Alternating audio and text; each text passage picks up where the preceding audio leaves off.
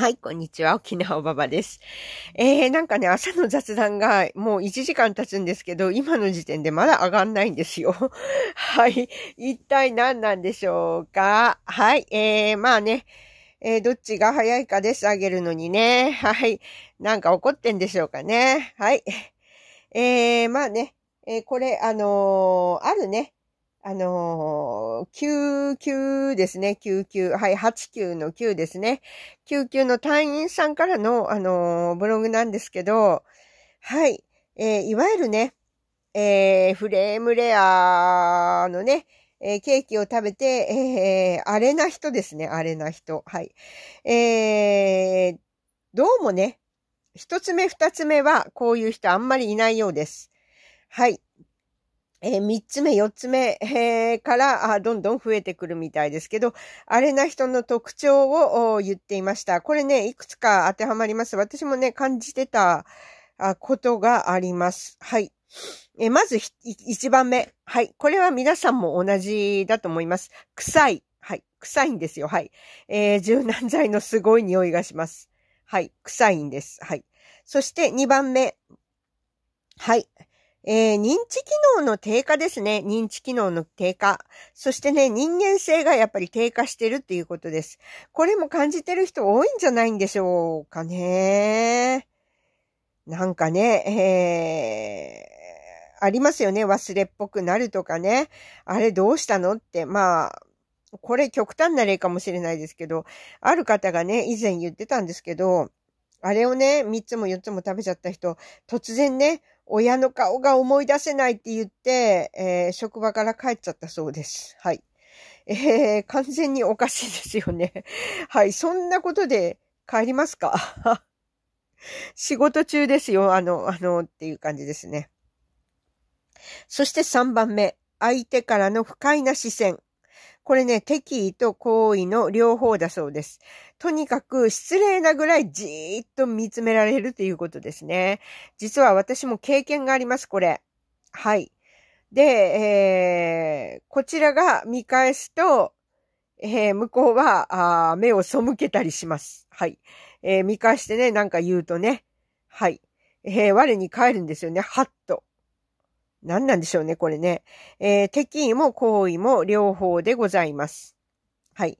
えー、そして、4番目。これ、これ私ね、割と早い段階で感じてました。はい。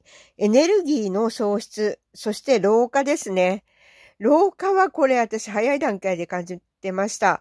えー、去年ですね、まあ、始まった頃、えー、なんていうのかな、昔の同僚とおぼしき方とね、すれ違ったことがあるあったんですよ。えー、道路でね、はい、えー、通りで、はい。えー、多分その方だと思うんですけど、本当にわからないぐらい老けちゃってました。えー、ハッとしたんですけど、向こうもハッとしたんですけど、え？って私ちょっと一瞬思って声かけるのはやめときました。はい。えー、これ結構ね、あります。はい。えー、老化とエネルギーの喪失ですね。4番目。目が変。はい。これは目線と関係ありますね。なんか、なんかね、あのー、変な目線だと。はい。どこを見てるかわかんないと。はい。そしてね、6番目です。体が傾いている。これありますよね。なんか食べた後に傾きすぎちゃって、うまく歩けなくてね、あのー、杖ついてる方もいらっしゃいますからね。それまでも全く大丈夫だったのに、お元気だったのに。はい。そういうことです。この6個。はい。が、あ3つもね、4つもね、バックンバックン食べた人の、末路って言ったらいいんだろうかなんて言ったらいいんだろうかね。まあ、こうならない人もいますけど、いますけどね。えー、結構な確率でこうなってる。どれか、いくつかは当てはまってる。全部ではないんですけどね。えー、まあ、そういうことです。はい。まあ、まあね、言ったって聞かないんで、はい。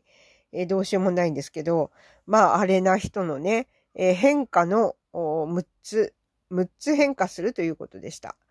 はい。私もね、これいくつか、あのー、なんていうのかな。あ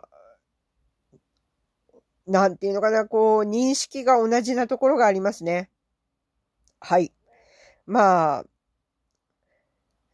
まだね、こう、なんていうのかな、その、認知機能の低下とか人間性の低下っていうのは、私、周りにね、ほとんど食べてる人がいないんで、ここら辺はわからないですけど、その不快な視線とかね、体が傾いてるとか、老化っていうのは、あこの目で見ますね。あと、臭いっていうのもわかります。まあ、こんな感じですね。